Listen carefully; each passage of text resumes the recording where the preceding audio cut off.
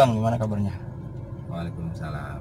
Kabarnya ya, alhamdulillah Hmm, baik-baik aja.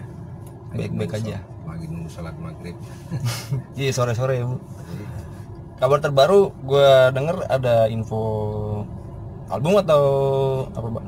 Yang terakhir gue denger tuh, mengenai rotor, ya rotor kan di yang kemarin kalau nggak salah sama? Warner bang. rotor yang terakhir cuman bikin digital media itu aja. Hmm, Semua album lamanya di dimasukin di multimedia oh, kayak Spotify, eh, digital media sorry. digital media. kayak Spotify apa namanya Deezer apa iTunes apa gitu. Mm-mm. Gue sendiri belum cek sih udah ada apa belum. Waduh, gue juga belum ngecek kemarin loh. Jadi itu berapa lagu? Empat album. Empat album semuanya. Oh enggak, sorry tiga album. Oh, tiga kecuali kecuali Behind the Eight Ball. Behind It Album Ball. pertama belum dimasukin.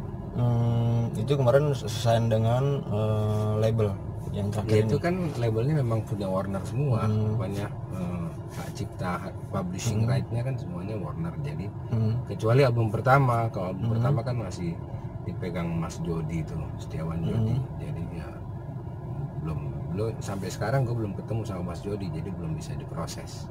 hmm, dan untuk apa? eh, itu berarti di bulan apa bang? Resmi di digital itu? Udah lama deh, kayaknya di, di Facebook gua ada tuh. Lupa gua. Iya di, di Facebook Bang Irfan curhat mulu, tapi curhatnya tentang story bang ya. Oh, Story. itu sebenarnya bukan curhat itu apa namanya eh, sejarah aja sejarah Ngulas, History. ngulas sejarah ya.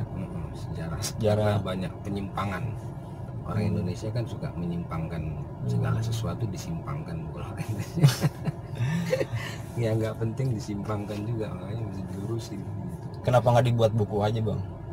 ya mau tapi kan nggak belum ada yang mau bikin Hmm. bukunya kan bikin buku kan pakai modal juga Hmm, kalau kita bikin di mainstream kayak Gramedia gitu hmm, ya kan prosedurnya kan panjang dan hmm, ribet juga lah gitu sama aja lah kayak band kalau masuk major label Hmm. zaman dulu kan hmm. prosedurnya itu juga gitu jadi tapi yang yang indie label belum ada yang mau bikin Hmm. percetakan percetakan yang indie label belum ada yang belum ada yang kontak gua paling cuma satu yang kontak tuh Hmm. Books Live Books Live. itu mereka bikin nanti tapi di di ini online belinya online Hmm, itu tentang digital tentang oh digital. Hmm. Ide tujuan nulis itu apa? Eh, di status itu sebenarnya buat apa sih bang? Buat ngelurusin sejarah aja. Sejarah, iya. Sejarah perkembangan. eh, sejarah antara seperti di dunia aja. Hmm. antara gua Suckerhead dan rotor plus rotor corp gitu. Hmm, ini apa sih nih gitu. Kan orang banyak yang nggak tahu. Hmm, banyak yang nggak tahu. banyak yang nggak tahu dalam segi apanya tuh bang? Ya nggak usah. Barusan gue dari rumahnya Hmm, Pak Handi sama Bu Acin ngobrol-ngobrol. Barusan tadi Hmm. habis zuhur tadi gue di sana makan siang sama mereka. Nah, Pak Handi saja sama Bu Acin Hmm. yang orang musika. Hmm, yang dari dulu dia memproduksi produk-produk gua kan nggak? Hmm, metal klinik apa kan produknya rot- rotor tuh. hmm. mereka aja tuh nggak tahu kalau gua itu dulu main sama Suckerhead nggak tahu mereka. Oh ya, karena emang emang eh, memang itu di di awal terbentuk Suckerhead berarti ya. iya awal sekali gitu Hmm, jadi mereka sendiri aja nggak tahu apalagi yang yang grassroots grassroots pasti nggak Iya mungkin kebanyakan yang tahu adalah Krishna. Krisnanya udah mati kan Iya mana bisa dia ngasih tahu dari dalam kubur meninggal oh bang. assalamualaikum nggak bisa Berarti berarti emang emang memang men- men- meluruskan dari rotor, rotor crop, Iya. semua rilisan itu dari rotor crop. ya urutannya kan urutannya itu sesuai judul aja saya Suckerhead dan rotor Hmm. plus rotor corp Hmm. gitu. habis itu baru dijemput malaikat rahmat ya kan? Udah hilang semuanya. Jadinya begini nih sekarang. Berarti obrolan dengan Bu Acin itu hanya gitu aja gitu. Jadi nggak ada ke depannya nggak ada. Gue sering ke rumahnya mereka. Eh, ngobrol-ngobrol agama mereka kan non muslim tuh. Oh ya. bisa dibilang nggak beragama lah. Kristen enggak Protestan enggak Katolik Hmm. enggak Hindu enggak Buddha enggak deh nggak ada agamanya dia. Artinya agamanya lain sendiri. Nggak ngerti agamanya apa. Agamanya orang Cina lah nggak tahu apa. Berarti ya berarti ya nggak jelas dong. Ya enggak agamanya ada tapi Hmm. agama agamanya orang Cina kali ya. Gue nggak tahu agamanya apa. hmm. Tapi ada ritualnya dia. Dia ada sembahyang sembahyangnya juga. Cuman kan gue nggak ngerti. Iya iya iya. Itu terlalu jauh lah. Tapi eh, untuk yang rotor sendiri sendiri berarti eh, kemarin rilis digital. Hmm. untuk untuk lebih mendunia mungkin ya sekarang ya di zaman yang sekarang digital semua jadi mungkin lebih tahu kali ya orang-orangnya. Ya waktu itu kan Warner bilang ini kita nggak bisa rilis fisik fan katanya. Hmm. sementara lagu lu belum ada satupun yang di di di digital belum ada Hmm. ya. bikin dong remaster mastering Hmm. lagi dia Hmm. bilang ya udah itu kan remaster ulang itu terakhir bukan 2010 ya re- remaster ya itu itu 2010 remaster terus Hmm. bikin CD fisik kan itu kan ah, Nah, udah habis itu sekarang ini remaster lagi gitu. remaster lagi remaster lagi hmm, berarti nggak ada bedanya ya remaster remaster lagi berarti dua kali remaster enggak beda kan eh, operatornya nggak sama yang Beda orang, dulu kan warna. 2010 yang remaster kan si itu tuh Hmm. siapa sih namanya yang rumahnya di Kalibata tuh oh Zabrik Jabri Roni Roni Jabri. Hmm. 2010 Roni yang remaster nah yang sekarang 2018 ya Hmm. Nah, pokoknya yang terbaru itu kan yang remaster Hmm. si Imron oh Imran Sati Imron Ilyas Sultan Sati iya, iya, iya. Berarti kapan manggung bang? Rotor nggak mau manggung? Kan gue udah sering bilang tuh di mana-mana kalau Slayer jadi pembukanya Slayer baru gue main lagi gitu. Kapan ke sini siapa yang mau manggil juga Slayer? Jadi urat-urat gue nih kalau dimotivasi dengan selain Slayer nggak bisa Kok bisa gitu. Kalau Slayer yang motivasi bisa berarti harus Slayer udah nunggu Slayer ke sini kapan? Keburu? Nggak harus tunggu Slayer ke sini bisa aja gue yang ke sana gitu. Loh. misalnya Slayer Hmm. main di Bulgaria misalnya kan. Hmm. Rotor dia yang buka gitu nggak apa-apa nggak masalah. Personil siapa aja rotor sekarang? Kalau misalnya mau buka di sana? Ya gampang itu sih. Gue tinggal telepon aja underground Indonesia siapa yang mau jadi basis sama vokalis? Wah banyak pasti yang daftar. Berarti berarti berarti cabutan dong. Ya cabutan lah. Vokalisnya? Vokalisnya ya gue lah gitar vokal. Gitar vokal basis Ya, bass. drum. Drum sudah ada bakar. Bakar. Bakar pasti mau buka Slayer. Iyalah pasti banyak yang mau. Slayer itu kan Tuhannya bakar. Cuman untuk untuk iya tuhannya semua Maksudnya dalam metal musik sih gitu iya. musik, gitu. tapi untuk untuk untuk ya manggung di sini gitu untuk nggak ada rencana gitu bang apa? Manggung ada. gitu? Udah banyak yang nawarin Ah. juga tapi gue males aja. Kenapa males bang? Kan memang banyak yang nungguin. Ya males aja males. Terlalu banyak kerjaan yang mesti dikerjain. Hmm, tapi kalau maksudnya kalau kalau kalau mainnya sama Slayer menurut gua ya udah deh gua capek-capek dikit nggak apa-apa deh worth it gitu. loh iya iya iya iya iya. Iya kan? berarti tunggu tunggu jadwal Kan mereka buka, ke sini. buka Metallica udah iya bukan Metallica udah tahun berapa tuh dua jadi kalau kalau mus- kalau mesti bangkit lagi dari kubur itu Ah. harus buka Slayer baru bangkit lagi dari kubur selain saya nggak ada hanya Slayer ya nah ada Megadeth di bawahnya Slayer iya Anthrax di bawahnya Slayer iya mereka senior Slayer Iya. berarti ya berarti kalau yang mau nunggu manggung di sini cuma dengerin albumnya doang iya mendingan lu dengerin ceramah aja di mesin oh iya. Apa eh, kemarin ini Betrayer bikin nama nomor Betrayer bang. Tanggapan abang gimana bang? Bikin apa? Nomor Betrayer namanya nomor Betrayer No More Betrayal Heeh. terus Oh, eh, gitu. vokalisnya nama bandnya itu? Iya. Nama bandnya No More Betrayal ya terus gan, eh, logonya tetap cuman personilnya ganti. Hmm. Eh, cuman Dodi doang sih. Ada Ustadz Dery Sulaiman Hmm. Jamil drummernya drummer gimbal tuh satu lagi gitarisnya siapa gitu lupa. Tanggapan abang gimana sih bang? Maksudnya kan sama nih kayak abang nih. Ustadznya tapi nyanyi.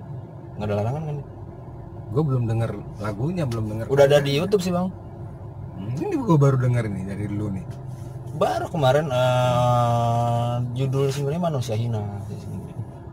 Ya tapi memang walaupun belum belum dengar sih cuman tanggapan abang sendiri gimana yang memang udah situ di musik oh kalau kalau tanggapan gue ya gue mesti ngobrol dulu sama personilnya dong mereka Hmm. tujuannya apa Hmm. niatnya apa Hmm. Tuh, apa terus eh, caranya gimana Hmm. terus motivasi maksudnya background membuat itu untuk apa Hmm. Kalau gue denger dengan abang tuh gimana? Sekarang nih musik metal di scene yang sekarang ini kalau gue bilang tuh memang lagi rame sih bang. Hmm. Jakarta, Bandung terutama di Bandung tuh dia punya satu apa ya satu momentum yang bagus gitu. Tapi di Jakarta kenapa belum bisa? Gitu. ya Jakarta kotanya luas banget jadi mau ngumpulin orang ini susah gue kan sering juga ke Bandung tapi untuk Hmm. urusan dakwah sih Iya. dan emang enak gak usah ngeband ya di Bandung aja kita dakwah tuh kayaknya tuh gampang gitu deket-deket Hmm. Hmm. Terus macetnya juga masih ada jamnya kalau Jakarta kan Hmm. nggak ada jamnya macet macetnya kan sekarang 24 jam Jakarta dan orangnya juga lebih sedikit kan di Bandung Hmm. jaraknya juga lebih deket-deket Hmm. kalau Jakarta kan zaman dulu aja tuh tahun 9 Hmm. gua dulu nongkrong tahun 87-an 88 Hmm. anak metal tuh cuman ada di Monrowino Hmm. pub terus uh, pit pub Hmm. Casa Pub Pasar Minggu Hmm. itu tiga pub itu Hmm. tapi orangnya sama jadi nongkrongnya pindah-pindah gitu aja Hmm. Pindah-pindah tempat ya. Iya. baru setelah eh, setelah setelah era eh, beberapa tahun kemudian Hmm. baru muncul yang di Jakarta Timur yang anak-anak arsis tuh kalau nggak salah Hmm. tuh si Vicky, Alien Hmm, Scream dan iya, iya, kawan-kawan iya, iya. itu tahun itu tahun-tahun itu sudah Sepultura tuh baru mereka Hmm. pada muncul awalnya kan Jakarta pertama kali pit pub itu Iya. tahun 86, 87, Iya. 88 gitu Hmm. gue kan di- waktu itu belum 50 orang itu Masih 20 anak orang. metal sejakarta Sejakarta. iya maksudnya bukan bukan fans metal ya Iya. musisi metal tuh sejakarta tuh nggak sampai 50 orang itu zaman itu tahun 86 87 88 Masih sedikit ya. iya masih sedikit banget Tapi tapi untuk untuk cikal bakalnya emang di Jakarta ya sebelum di Bandung. Iya. dan Rox juga dulu belum bawain Metallica habis dia masih Hmm. bawain Guns N' Roses masih campur ya masih bawain Van Halen Tapi kenapa bang ya tahun apa di, di sekarang ini justru kita terbalik dengan dengan dengan apa ya yang udah ada kayak misalnya Bandung lebih lebih lebih barometer orang sekarang ke sana bang dibanding Jakarta. Mm-mm. dia memang gitu sama lah kayak New York Hmm. musik metal tuh di Amerika ikonnya bukan New York Hmm. kalau underground terus Iya. ah, kan Tampa Florida Hmm. kota kecil Tampa itu Sama halnya kayak di Bandung Iya. juga. kalau gue kemarin ke New York berapa kali Ya, sesudah ini ya sesudah Ah. begini sesudah sesudah pakai jubah gini Iya. dakwah Amerika ya gue iseng gue cari Ah. tuh klub-klub metal susah nyari klub metal di New York padahal industrinya semuanya label-label besar semua ada di New York kan Ah. tapi apa namanya musisi-musisinya ya, Ah. itu yang terbanyak ya di Florida Hmm. kalau di California di sana di San Francisco gitu Iya. karena kota kecil Kota kecil justru yang maju ya. ya karena kan gampang meng- mengorganisnya kan mudah Dibanding sebenarnya awal-awal heavy metal kalau kita bicara heavy Hmm. metal untuk untuk lingkup se Indonesia kan Hmm. itu kan startnya kan sebenarnya Surabaya kalau mau jujur sih Hmm. awalnya dulu kan kalau rock memang God bless kan di sini kan Hmm. God bless dan kawan-kawannya ya iya, iya. seangkatan lah gitu kan nah tapi heavy metal itu kan setahu gua tuh dulu startnya di Jawa Timur Nah, tapi kenapa nggak pernah jadi basis sampai sekarang ya karena memang kota besar sih Hmm. Besar. Kalau Bandung dia kota ke- kecil kan Di Surabaya waktu itu band siapa aja bang? Heavy metal, Wah ya zaman-zaman dulu power Itu metal mungkin.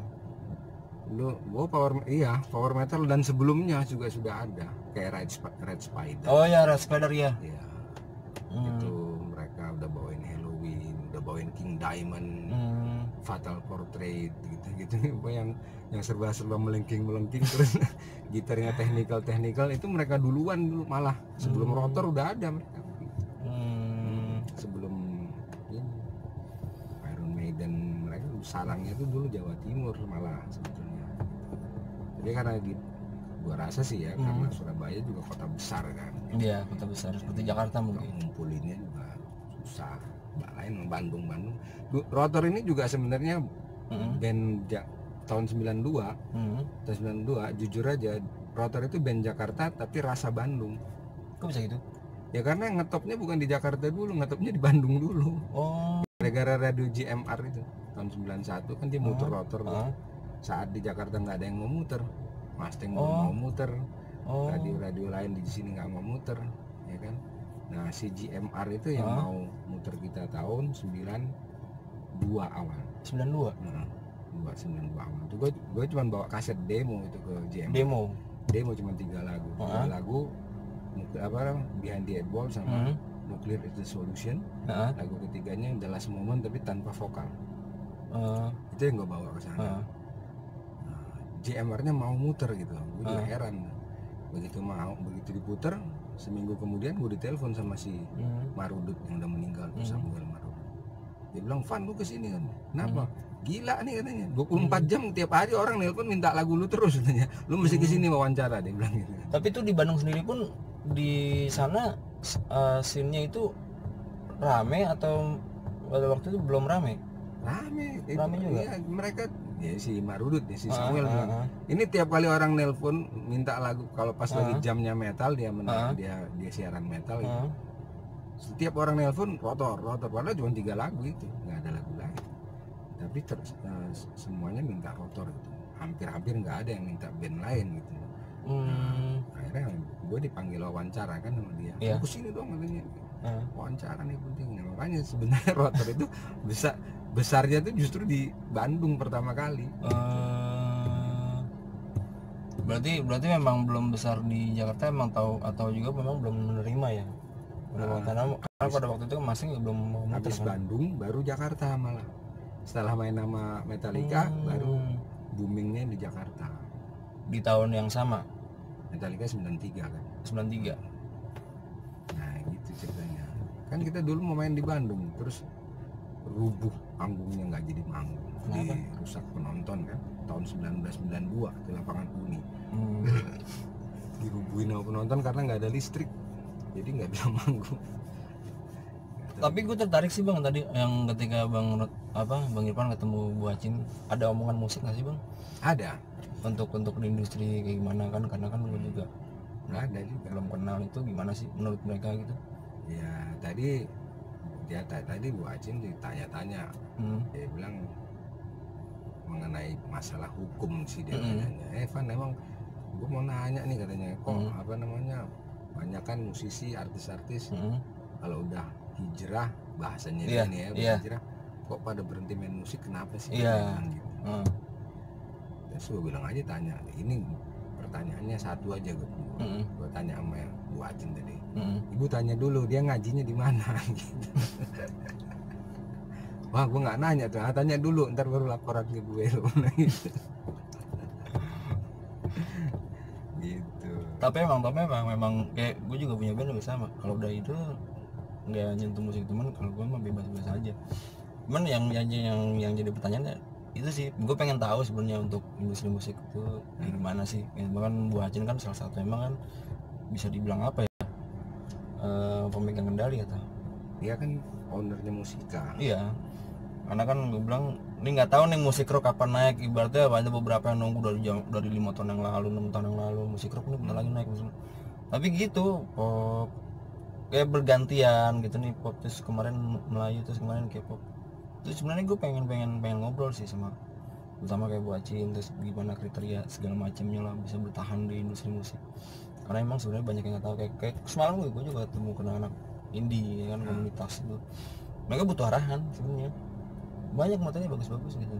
Karena memang Ya, mereka butuh arahan mereka harusnya datang kepada orang yang berkompeten di bidangnya. Dulu hmm, dulu rotor itu bisa masuk rekaman major label itu itu nggak ada satupun orang yang percaya. Karena dulu musik kayak gitu bisa masuk major label tuh. Hmm, bis- udah ma- termasuk nggak mungkin impossible. Udah musiknya kayak gitu liriknya bahasa Inggris. Album gue yang pertama itu Behind the Hmm. Eight Ball kan nggak ada bahasa Indonesia nya cuman kulit fobia aja yang bahasa Iya. Indonesia. Yang lain kan English dan nggak ada pun nggak ada satupun lagu yang komersil lagu jualannya nggak. tahun tahun 92 Hmm. itu satu-satunya album yang bisa full underground thrash metal Hmm. dan bahasa Inggris dan masuk major label Itu kenapa bisa masuk major label? Ya karena gue gerilya Hmm. ya kan gue berteman sama uh, Empai gue berteman sama Sleng Hmm. gue berteman sama Andi Liani almarhum Hmm. kan berteman sama si Gigi Hmm. bahkan gue berteman sama apa Hmm. namanya Kla Hmm. sama Lino Iya iya iya. yang sering ngobrol sama Lino yang dulu di zaman itu ya kita diledekin abis main sama Hmm. musisi pop anak metal zaman dulu kan sukanya ngeledek ah lu nggak ngerti lo katanya main sama anak anak pop nah dari begitu gua rekaman ya gua balik nah lu yang nggak ngeri sekarang Lu balikin lagi. iya karena kan jalurnya dong ya Iya. kan? lu mau rekaman ya lu mesti dekati orang-orang yang sudah Hmm. berada di jalur itu gitu nah begitu gue masuk ke rekaman rotor rekaman dan laku album Behind the Eight Ball itu 400 ribu kopi 400 Hmm. ribu kopi. iya. nah setelah Kaset. Setelah itulah baru Aquarius mau apa tanda tangan kontraknya Suckerhead Oh, baru Suckerhead setelah Iya. eh, Behind It Ball itu. iya baru setahun kemudian baru Suckerhead Nah, Rotor sendiri yang al- next albumnya next albumnya 94 itu di label yang sama atau gimana tuh? Kan berarti apa? ya label labelnya udah bukan Mas Jody lagi udah pindah Hmm, label udah pindah lagi. Iya, tapi setelah itu setelah rotor laku itu Hmm. album pertama Behind the Ball itu itu berturut-turut banyak band-band Hmm. yang direkam sama major label pertama kan Hmm. Metallic Clinic tahun Iya. 97 Oh, itu kan gua waktu itu gua lihat anak-anak tuh kan gua lihat kesian gitu loh hmm. adanya kayak si Purgatory, Tengkorak, ya kan Hellguts, Iya. terus Jasad, Hmm. terus si Betrayer Hah? itu kan dulu kan kalau rotor magung yang headbanging mereka nah jadi artinya jadi kayak gimana ya gua sama mereka tuh kayak Mengajak kok gue sukses sendiri Iya, gitu. iya. Jadi pengen pengen mereka juga sukses ya. iya. gue pernah nonton gue tanya sama dia lu main di mana di Asia Via besok katanya Hmm. gue datang ke sana sama Maki Maki Ungu Hmm. nonton tengkorak main nah, begitu gue lihat mereka punya masa Hmm. wah ini boleh nih Ben bagus Hmm. nah, habis itu gue bikin kan bikin Metallic Clinic Hmm. gitu nah udah terus jadilah tuh 10 band tuh Metallic Clinic Hmm. tembus itu 200 ribu kopi Iya lumayan itu.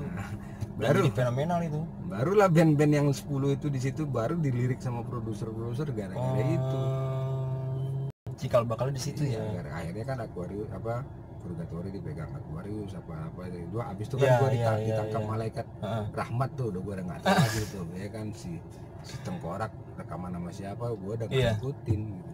Nah, Tapi berat, awalnya dari situ awalnya dari situ ya. Berarti untuk saat ini Rotor Club gimana bang? Rotor Corp ya Apa ada pergerakan lagi atau gimana? belum ada kan Rotor Corp kan nah, kalau mau digerakin bisa ya gua Hmm. gerakin aja Hmm. gua rekam aja band-band baru bisa tapi ya sekarang semangat untuk itu sudah nggak ada lah Bagus tuh bang, kenapa nggak gitu gitu? Kan label udah ada gitu. Karena memang sekarang butuh kayak gini. label ada mau tapi gua nggak mau ngerjainnya kalau gua kalau ada orang yang mau ngerjain nih misalnya lu mau ngerjain rotor core Hmm. nah gue tinggal komando komando aja lu, Hmm. lu gini lu gini lu gini lu gini gini nah itu bisa jalan tapi kalau kayak dulu dulu tuh kan gua ngerjain semuanya sendirian Iya iya iya. dari iya. mulai desain desain lambang hati Iya, cover iya. albumnya ya kan? Nah, hitam. Itu kontroversi tuh sama metal se Indonesia. Pada nggak mau tuh mereka. Gila lo Van masa albumnya ininya eh, covernya hati gitu ya itu itu semuanya protes. Semuanya protes. Gue bilang gue bilang gitu kalau pakai yang serem-serem biasa. Iya iya iya iya iya. pakai yang ini ya kan? Gitu. nanti yang beli cewek-cewek pakai rok mini Iya iya bilang. iya. iya. begitu didengar ternyata tengkorak kan ngeri gitu. dan ternyata teknik itu jitu laku jadinya itu Tapi kayak gue tertarik kalau misalnya gue yang jalanin itu Club. Ya, Banyak band-band baru sekarang bang, bagus-bagus apa- Karena Rotor memang mereka itu- butuh butuh butuh butuh media seperti itu bang. iya kalau rotor Cup itu saat ini ya Hmm. kan insya Allah ya Hmm. kalau gua jual kalau gua gua gua sodorin ke musika pasti diterima Hmm. sodorin ke Warner juga pasti diterima kalau gue Hmm. kalau misalnya ke- karena rotor kan Hmm. sudah ada istilahnya udah Hmm. ada kredit gitu sudah punya Hmm. cuma kan kalau kalau gue yang ngerjain nggak nggak sempet lagi gue ngerjainnya gitu karena emang karena emang memang karena memang butuh butuh butuh butuh apa wadah karena sekarang anak-anak band udah banyak gitu kan yang yang gue lihat karena banyak anak-anak band kayak gue mau bikin kompilasi cuman wah gue bingung gimana kompilasi ya terus begini doang nggak ada gebrakan justru yang mereka tunggu tuh kita yang tunggu tuh adalah gebrakan seperti gitu sih bang menurut gue Ya kalau dulu kan gini, dulu kan Metal Clean itu kan Hmm. idenya begini. Gue mau rekam kompilasi metal se-Indonesia yang paling top. metal yang paling top se-Indonesia pada saat itu. hmm. Nah, jadi gue sendiri talent scoutnya. Hmm. Makanya tadi kan gue bilang, gue datang ke Asia Via, gue sendiri nonton Tengkorak, gue datang ke Bulungan, gue nonton sendiri tuh Purgatory. berarti sama tipikalnya sama kayak gue tuh bang harus ngeliat gue Iya. ngeliat Habis itu gue sama Ucok ngantuk. Gue Iya. ber- berdua gue berak sama Iwan Island Scream. Kita berangkat ke Bandung nonton Hellguts khusus mau mau mau lihat Ah, ah. karena udah sering dengar namanya tapi belum pernah lihat performance Ah. Jadi gue selain nama terus gue lihat juga manggungnya oh, bagus nih band. Hmm. Nah karena jasad juga sekalian waktu itu jasad gue nonton. Nah akhir itu yang nggak yang nggak gue nggak bisa nonton waktu itu cuman band yang dari Malang sama band dari Bali Simul tuh karena kan jauh banget. Hmm. Cuman si Simul ngasih demo waktu gue. Hmm. Nah akhirnya ya jadi gue dulu gue kerjain sendiri semua. Hmm. Nah setelah band-band itu kumpul masuk studio rekaman baru gue suruh Krisna. Krisna gue suruh nungguin rekam nungguin studio. Maksudnya lu lu lu ini lu rekam nih band-band ini lu nanti mixingnya gua gua bilang. Iya iya iya. Sekarang untuk untuk rekamannya lu yang kerjain. Iya, iya. Awalnya dulu gitu dulu. Nah Hmm. kalau mau bikin lagi kayak gitu, kalau gua harus kayak gitu lagi, Hmm. wah nggak ya ini nggak bisa lagi kalau Iya, sekarang iya, ini iya. gitu. Berarti harus ada orang lagi yang Harus selain orang gitu. Lu tetap di belakang doang sih. Iya. Terakhir nih bang, buat planning tahun ini di rotor sendiri apa? Rotor crop itu gimana? Rotor rotor corp apa rotor? Dua-duanya? Kalau rotor tinggal nunggu satu di antara dua. Hmm. Mati dulu atau main sama Slayer dulu. Ah itu kan. Aduh berat mah. Ya, bisa aja kan? Bisa aja tiba-tiba ada tawaran dari Slayer Amin. main. Atau tahu-tahu belum sempat datang tawaran dari Slayer udah mati duluan. bisa. Kalau kalau rotor crop sendiri Rotor corp ya nggak udah gini-gini aja. gitu aja. Hmm. Ya ya ya ya. Oke kalau gitu. Kalau dulu kan Krisna masih ngerjain dia rajin. Iya. Karena Krisna udah meninggal kan nggak bisa kan gua. Eh harus cari pengganti selain dia sih. Ganti dia. Oke kalau gitu cukup sekian dulu bang. Kita ngobrol-ngobrol. Ya udah Sama, maghrib. iya Sepuluh udah mau menit. maghrib kita. 10 menit lagi maghrib Siap. ya kan. Terima kasih. Tahu Kerry King ada di situ kan. Alah, gue carry king. Baru masuk Islam. Sholat di situ. Iya. Thank you bang wawancaranya Sama-sama insya Allah. hari ini. Assalamualaikum. Waalaikumsalam warahmatullahi wabarakatuh.